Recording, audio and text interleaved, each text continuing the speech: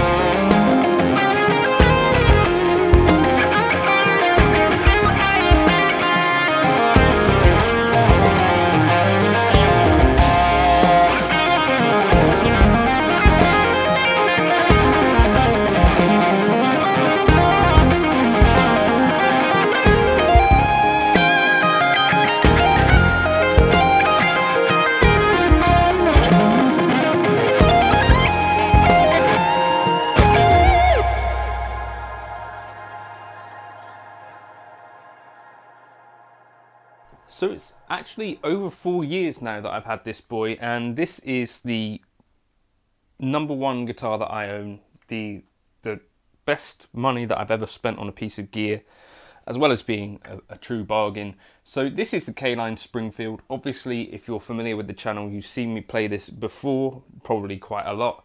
Uh, I got it in September of 2018, and here was the, the first thing I played on it. Thank you.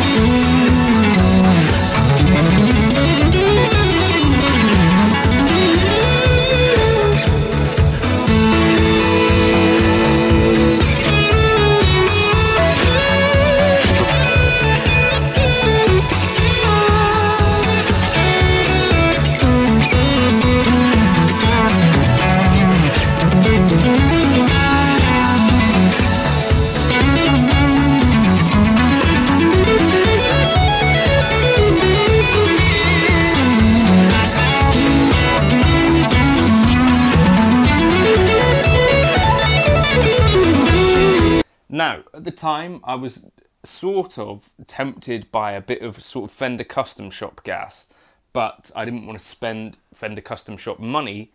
And on the Fretboard forum, which is a guitar forum in the UK, uh, this was posted for sale near to me.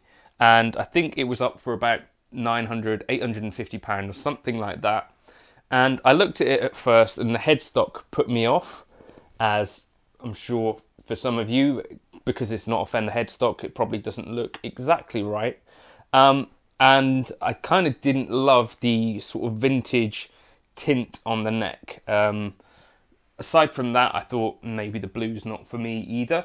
But I came back to it. I think I gave the guy an offer and said, you know, would you take 850 for it or something like that?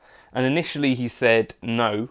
And then he came back about a week or so later and said, yeah, actually, it's still here. You can have it for that if you want. Now, I did a little bit of research at the time and I saw on a few forums, you know, that people were quite high on K-Line um, and, you know, said these are, you know, sort of similar to a Danocaster or, you know, a Nash guitar or these sorts of things, you know, uh, small boutique builders who are making great guitars. Now, at the time, I, I think it was pretty much instant. I started to think, actually, yeah, this is sort of the guitar for me. Uh, when I first got it, this checking wasn't actually like this. It was, I think, fairly clean when I first got it, but over time, this Nitro has really kind of checked all over.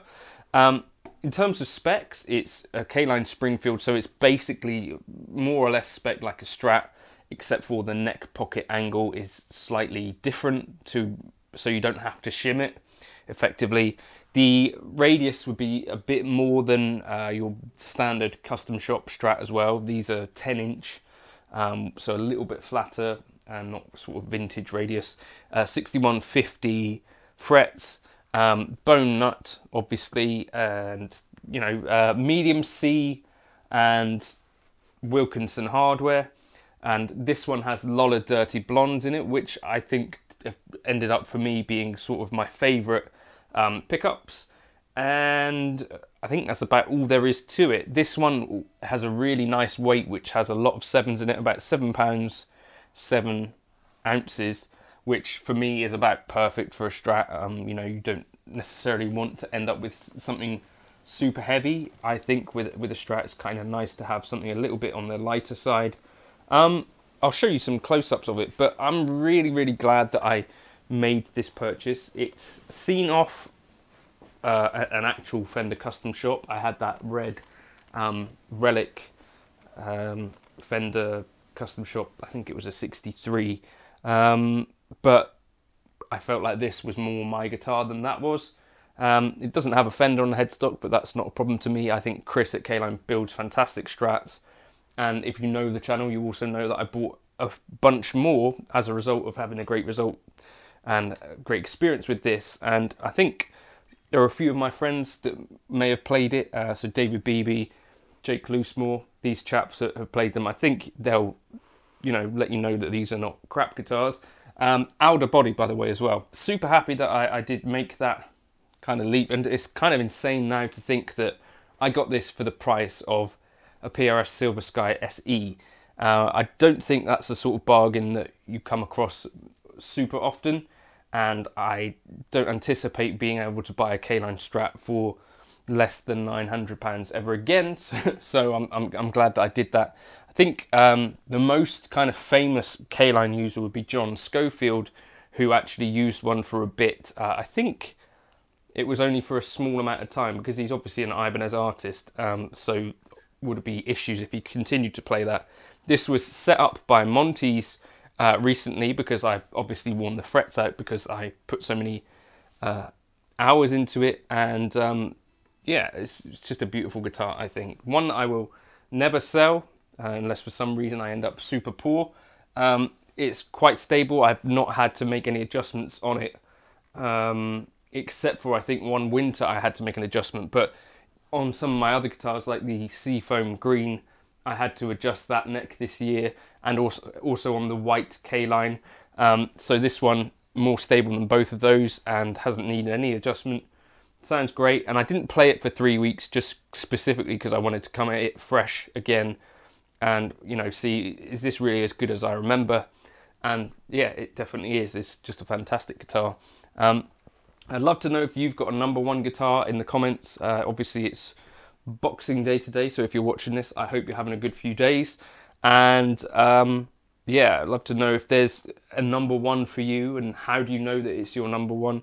Um, just for me, it's very obvious when I, I, put this away for three weeks, I pick it back up and it's like, ah, yeah, that's what I was um, looking for. It's just fantastic. And really, I feel quite lucky to have that sort of thing because I know some people end up chasing certain things, and I sort of know that for me, my strat journey could end with this today, and I wouldn't really ever regret it if that makes sense. So yeah, um, my number one strat, the K line. Ice blue is the finish, and it's starting to age quite nicely. Um, I don't gig this one live anymore because I'd be worried that something might happen to it, but it is a really fantastic guitar. I hope you like the sound of it when I play it. I don't know. Is there a favourite guitar of mine that I play or that you see me play? I'd like to know your thoughts on that as well. Here's some more playing. Uh, if you want that preset, that's Eric Lead 35. Um, just a fantastic guitar.